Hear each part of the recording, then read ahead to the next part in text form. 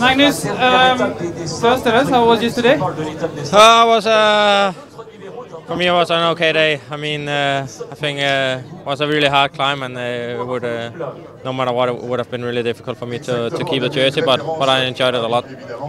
Today, I talked with a few sprinters, they don't really believe that uh, someone can uh, try something at, at least at the end of a stage to get rid of them. But I remember Algarve, and nobody thought it would be something else different than a than in sprint, uh, and you managed to make it different.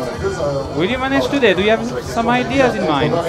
Yeah, I think today is a difficult day to know what to expect. Both there can be a breakaway going to the line, but also with the hills in the end. They are not uh, super steep, so I expect if if the sprinters team can control it well and don't have a too strong uh, breakaway in front, I, I I think they can also keep it together on, uh, on the hills in the end. But um, yeah, a lot of things are possible today.